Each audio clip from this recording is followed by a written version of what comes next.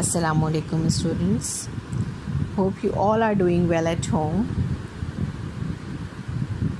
Uh, okay, tell me that have you ever visited a, an agricultural farm? If not, I'm going to read for you about a visit to an agricultural farm.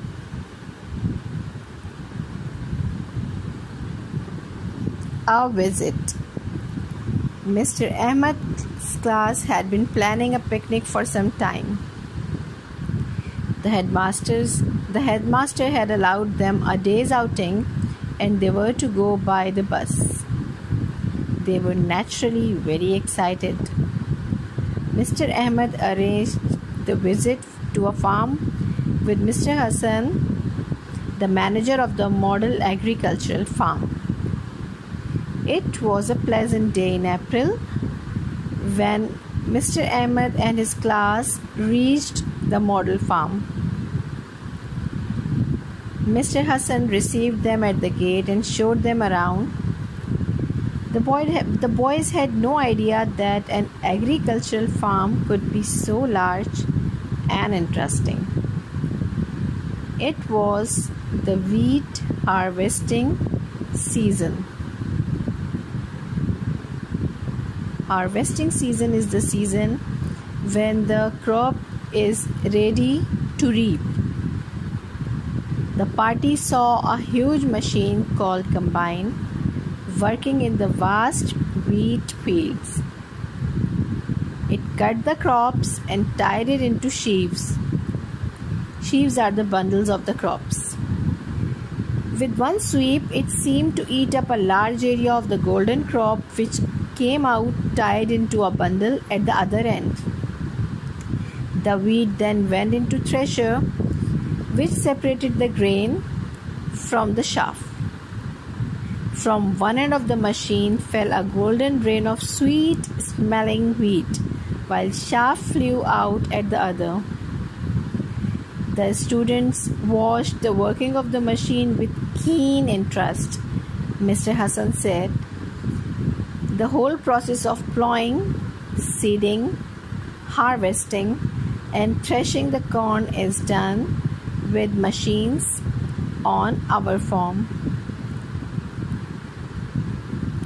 One man working with this machine can do as much work as 100 men working without it. Bilal, one of the students, asked, Sir, do you get bigger crops in this way? Mr. Hassan replied, Oh, much bigger. While an average farm produces 50 to 20 quintals of wheat for every hectare, we produce as much as 60 to 70 quintals. Bilal said, This is wonderful, but surely machines do not make the grain.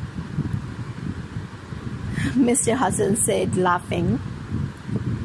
No, certainly not. What in fact happens is that first the machines called tractor plow deeper, then they prepare the land for sowing much faster. The sowing machine sows the seed very fast and no seed goes waste we get a lot of canal water but we also irrigate our fields with our own tube well which can supply water all the year long. Finally we spray insecticides on our crops to kill germs and harmful insects. So our farm produces 3 to 4 times as much wheat per hectare as an ordinary farm does. Saroj, who was another student, asked, Do you grow only wheat?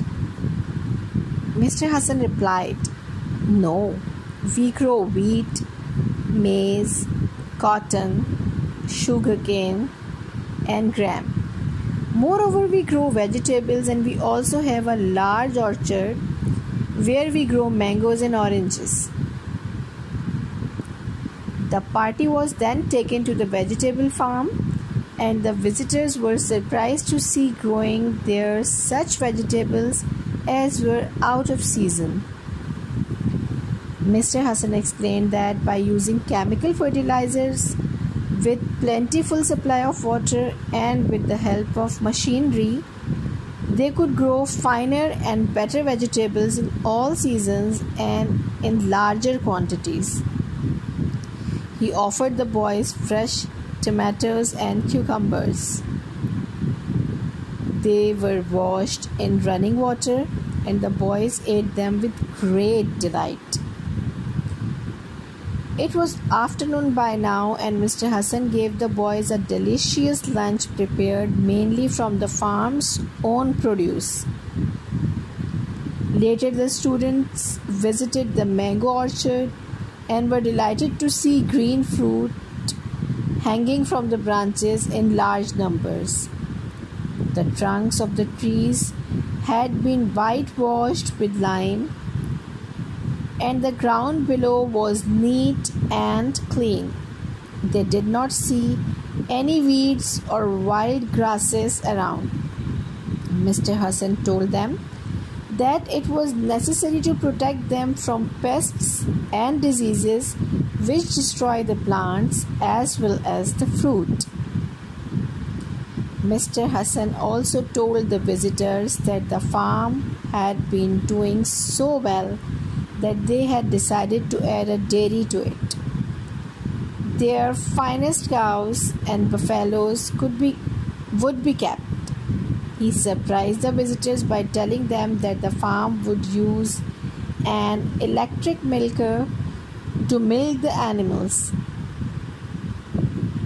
Modern machinery would make cream and butter and preserve the milk.